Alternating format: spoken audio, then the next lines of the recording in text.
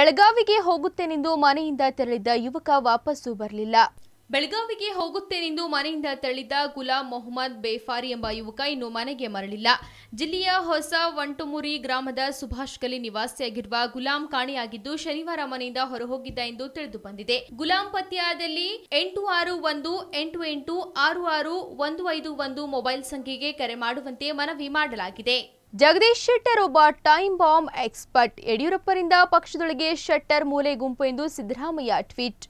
ಜಗದೀಶ್ ಶೆಟ್ಟರ್ ಒಬ್ಬ time bomb expert ಇದ್ದಂಗೆ ಅವರಿಗೆ ಪಕ್ಷದೊಳಗಿನ ರಾಜಕೀಯ ವಿರೋಧಿ ಬಿಎಸ್ ಯಡಿಯೂರಪ್ಪನವರಿಗೆ ಶೆಟ್ಟರ್ ಇಡ್ತಾ ಇರೋ ಬಾಂಬ್ಗಳೆಲ್ಲ ಟೂಸ್ ಆಗ್ತಿವೆ ಎಂದು ಮಾಜಿ ಸಿಎಂ ಸಿದ್ದರಾಮಯ್ಯ ಟೀಕಿಸಿದ್ದಾರೆ.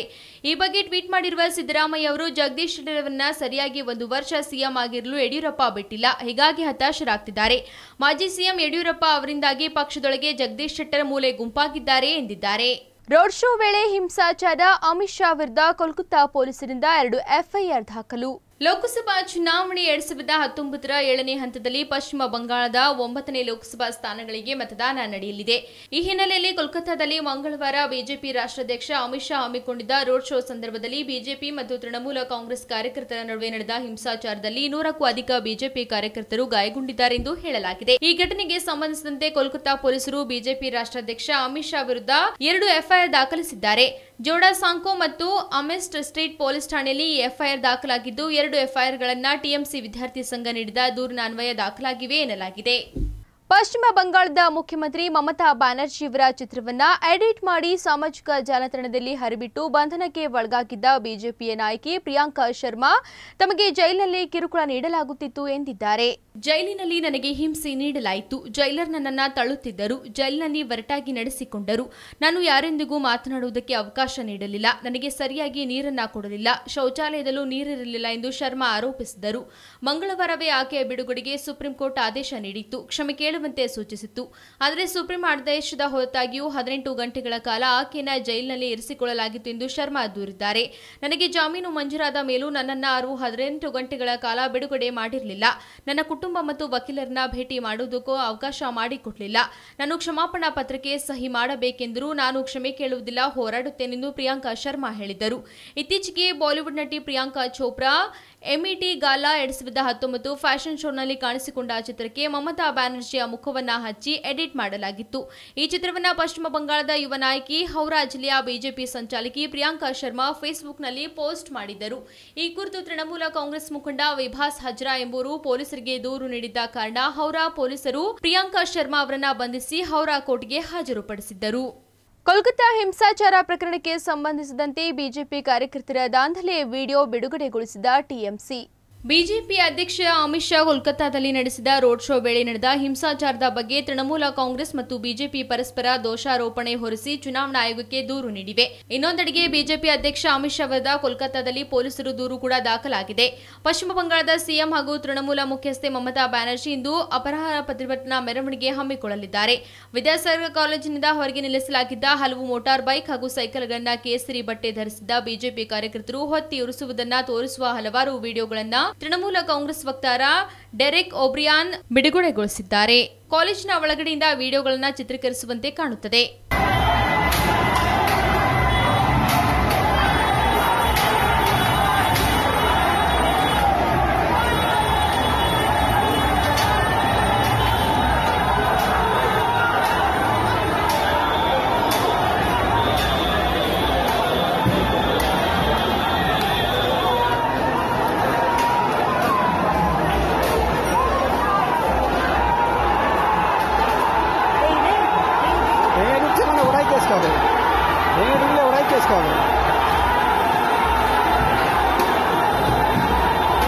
ಬಿಸಿಲಿನ ಝಳಕ್ಕೆ ಹೈರಾಣಾಗಿದ್ದ ರಾಷ್ಟ್ರ ರಾಜಧಾನಿ ನವದೆಹಲಿಯ ಜನರಿಗೆ ಇಂದು ಮಳೆರಾಯ ತಂಪೆರೆದಿದ್ದಾನೆ.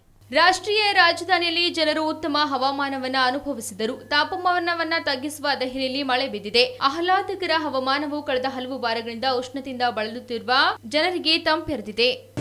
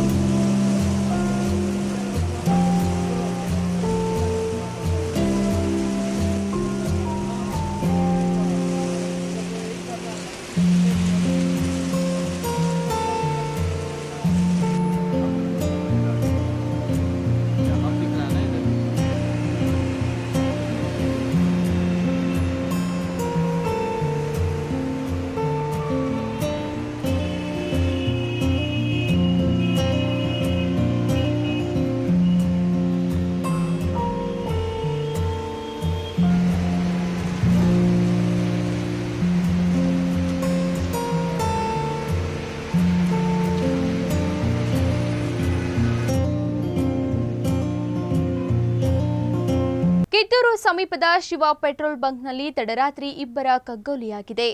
ಕಿತ್ತೂರು ಸಮೀಪದ ಶಿವ ಪೆಟ್ರೋಲ್ ಬಂಕ್ನಲ್ಲಿ ತಡರಾತ್ರಿ ಪಾಳಿ ಕೆಲಸಗಾರರಿಬ್ಬರನ್ನ ಬರ್ಬರ ಹತ್ಯೆ ಮಾಡಲಾಗಿದೆ. ಮಂಗಳವಾರ ತಡರಾತ್ರಿ ದುಷ್ಕರ್ಮಿಗಳು ಮಲಗಿದ್ದವರನ್ನ ಕಗ್ಗೊಲೆ ಮಾಡಿದ್ದಾರೆ.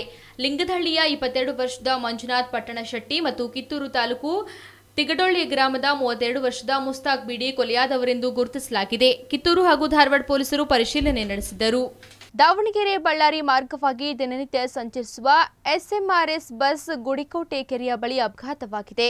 ದಾವಣಗೆರೆಯಿಂದ ಬಳ್ಳಾರಿಗೆ ದಿನನಿತ್ಯ ಸಂಚರಿಸುವ ಎಸ್ಎಂಆರ್ಎಸ್ ಬಸ್ ಗೈಡೆಕೋಟೆಯ ಕೆರೆಯ ಬಳಿ ಅಪಘಾತವಾಗಿದೆ. ಬಸ್ನಲ್ಲಿ ಸುಮಾರು ನಲವತ್ತೈದರಿಂದ ಐವತ್ತು ಜನ ಪ್ರಯಾಣಿಕರು ಪ್ರಯಾಣಿಸುತ್ತಿದ್ದರು. ಆದರೆ ಯಾವುದೇ ಸಾವು ನೋವುಗಳ ಬಗ್ಗೆ ಮಾಹಿತಿ ಸಿಕ್ಕಿಲ್ಲ. ಗಾಯಗೊಂಡವರನ್ನ ಸ್ಥಳೀಯ ಸರ್ಕಾರಿ ಆಸ್ಪತ್ರೆಗೆ ದಾಖಲಿಸಲಾಗಿದೆ.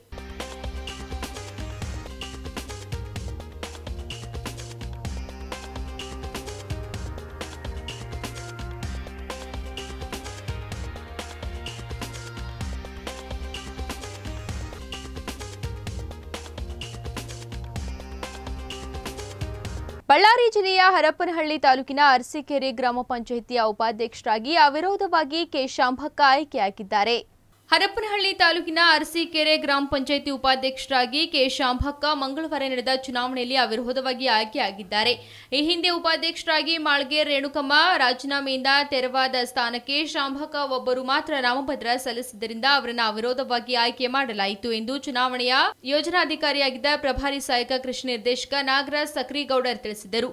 ಆಯ್ಕೆಯಾದ ಉಪಾಧ್ಯಕ್ಷ ಶಾಂಭಕ್ಕಗೆ ಗ್ರಾಮ ಪಂಚಾಯಿತಿ ಅಧ್ಯಕ್ಷೆ ವಿಜಯಲಕ್ಷ್ಮಿ ಹಾಗೂ ಸದಸ್ಯರು ಅಭಿನಂದನೆ ಸಲ್ಲಿಸಿದರು. ಈ ಸಂದರ್ಭದಲ್ಲಿ ವೈಡಿ ಅಣ್ಣಪ್ಪ ಪ್ರಶಾಂತ್ ಪಾಟೀಲ್ ಉಪಸ್ಥಿತರಿದ್ದರು. ಇದಾಗಿತ್ತು ಇವತ್ತಿನ ನ್ಯೂಸ್ ಹೀಗೆ ನೋಡ್ತಾ ಇರಿ.